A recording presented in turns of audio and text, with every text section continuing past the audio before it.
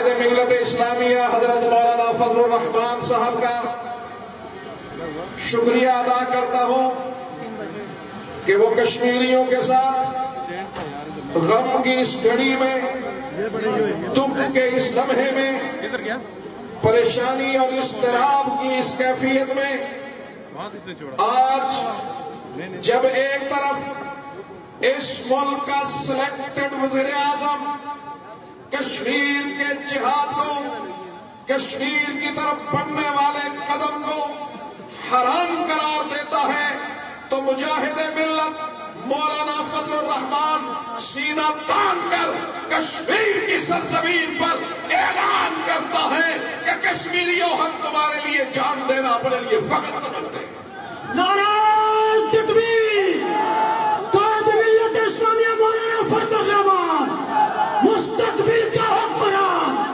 कश्मीरियों का तर्जमान आज हमारे वज़ीर आज़म कश्मीर भी यहाँ तशरीफ़ फरमाए, जिन्होंने कल एक अहम इज्तम में मुकदमा कश्मीर, कजिया कश्मीर, दर्द कश्मीर, अलम कश्मीर जब शेयर किया तो पाकिस्तान के बहुत सारे चैनल वो दर्द बयान करने से भी कब कब आने लगे?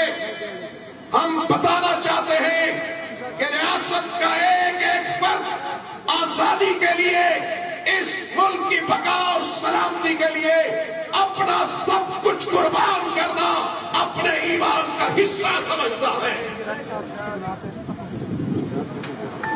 मेरे बहुत ही काबिल कदर, काबिल इख्तराम दोस्तों आज मैं अपने उन मेहरबानों का, अपने उन दोस्तों का शुक्रगुजार हूँ, जिन्होंने मीरपुर से चलकर कोटली, पलंदरी, रामलाकोट, अबासपुर, हजीरा और शर्की, वस्ती और गर्मी बाग से होते हुए, हटिया बाला से होते हुए, नीलम से होते हुए सबने चलकर इस मैदान में जमा होकर आज ये ऐलान कर रहे हैं कि कश्मीर की आज़ादी के लिए हक का ये काफिला हर कुर्बानी देने के लिए हर वक्त तैयार खड़ा है इंशाअल्लाह बुलंद आवाज़ से कह दे लब्बैक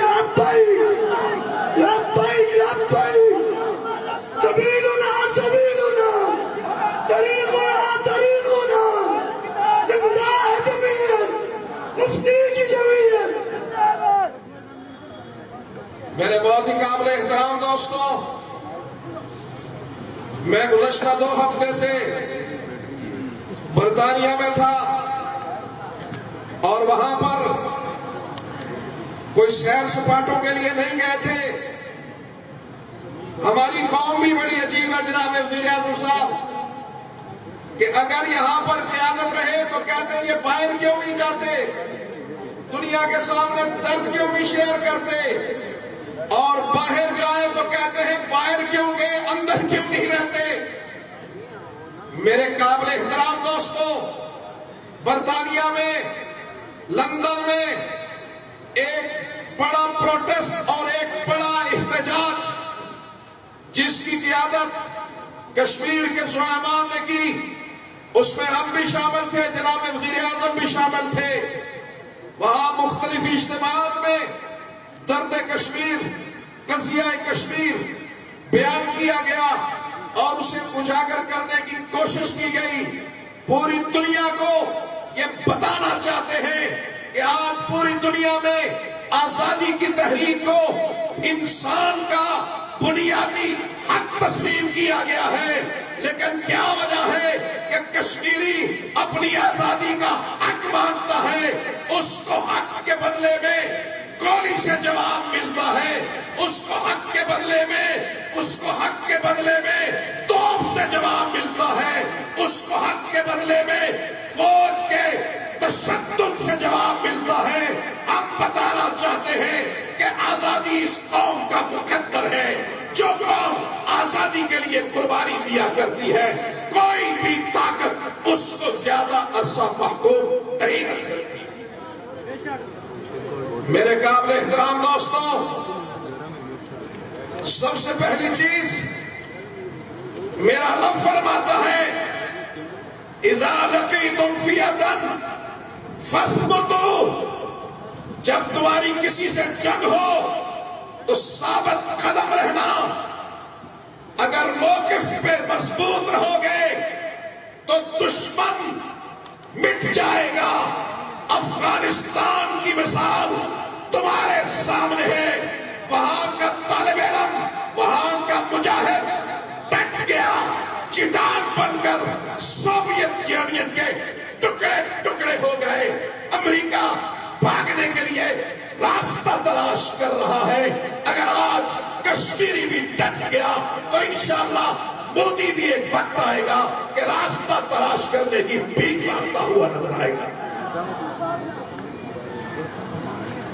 मेरे बहुत ही काबिल कदर, काबिल एहतराम दोस्तों, मैं जहाँ अपने मेहरबानों का शुक्रिया अदा करता हूँ, वहाँ पर मैं हज़रत मौलाना फजल रहमान साहब को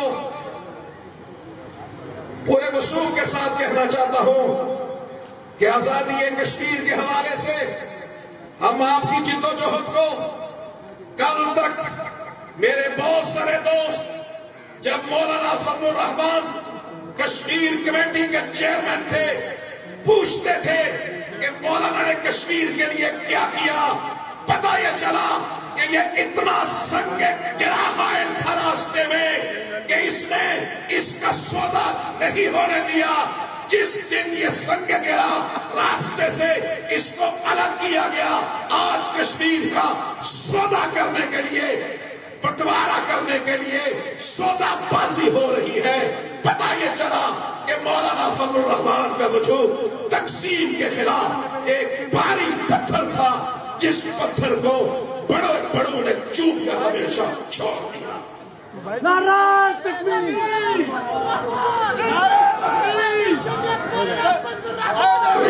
मेरे बहुत ही काबिल एहतराम दोस्तों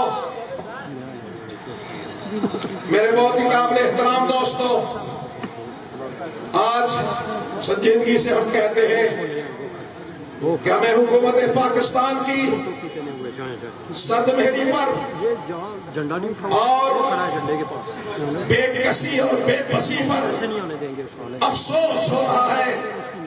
और आज के इस इज्तम में जहाँ मेरा कुरान, मेरा रब की, मेरे रब का कलाम हमें तलकीन करता है कि तुम अपने मौके पर डटे रहो।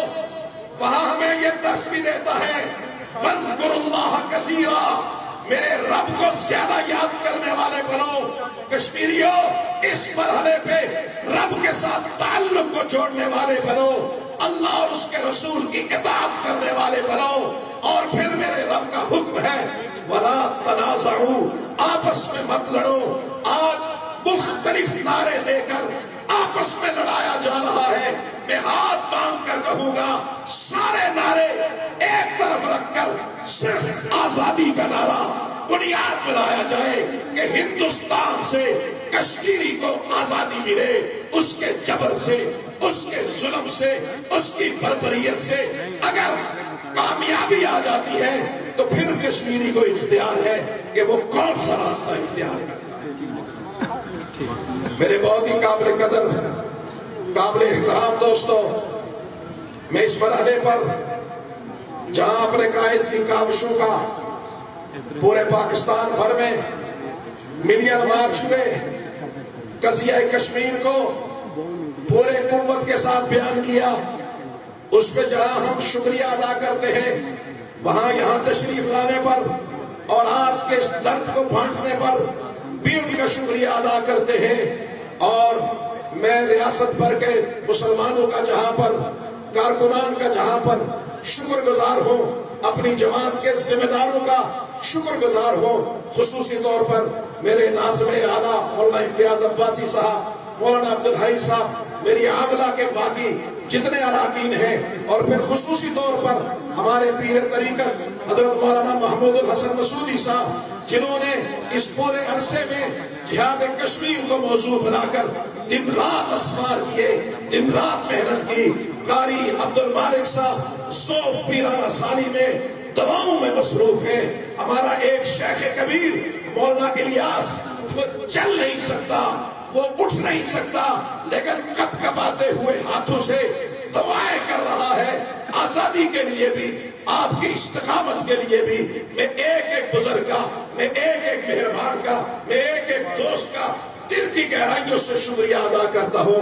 मैं अपने साथी दोस्तों का, मैं मीडिया के साथ ताल्लुक रखने वाले मेहरबानों का उनका शुक्रिया अदा करता हूँ। मैं अपने जो है वो हमारे जो सालात, हमारे सिक्योरिटी में अंसार इस्लाम के जो दोस्त हैं, उनका शुक्रिया अदा करता हूँ और इस पूरे और हुकूमत आज़ाद कश्मीर का कि उन्होंने इंतज़ाम में जो हमारे साथ बहुत सारी चीज़ों में और इंतजामिया ने यहाँ ताउन किया, हमारी ट्रैफ़िक में, दूसरी चीज़ों में, उसमें शुक्रगुजार है। मैं आपके दरमियान, कायद मिलत इस्लामिया के दरमियान ज़्यादा हायल होना मुनासिब नहीं समझता। मैं एक मरतबा सबका शुक्रिया अदा करके दिल की गहराइयों से दरखास्त करता हूँ कि इस अजम के साथ इस जलम के साथ घरों को जाए कि जब भी हमारी क्यादत ये फैसला करती है कि हमने सीज फायर लाइन अबूर करनी है तो कश्मीर में जहाँ हर तबका आगे बढ़ेगा, वहाँ जमीयत इस्लाम का कारकुन और जिम्मेदार बीस साल फरिश्त होगा। मुझे उम्मीद है कि आप कश्मीरियों को इस मरहले पे तनहा नहीं छोड़ेंगे। मैं एक मरतबा तमाम दोस्तों का और खसूस हमारे बहुत ही मुकर्रम, बहुत ही मोहतरम हज़रत मौलाना अब्दुल गफूर हैदरी साहब, नाजम आला जमीयत इस्लाम, मेरी खसूसी दरखास्त पर हमारे भाई हज़रत मौलाना राशिद सुमरो साहब, हमारे बहुत ही मेहरबान भाई मौलाना अमजद खान साहब लाहौर से ये इतने दूर असफार करके यहाँ तशरीफ़ लाए हमारे भाई जियाउर रहमान साहब, दूसरे जितने हजरात आए, मैं एक एक का शुक्र गुजार हूँ। अगर किसी को वक्त नहीं मिला तो मैं पेश की उससे माजरत भी करता हूँ। इसलिए कि हमने अकाबिर को सुनना है नमाज़ असर भी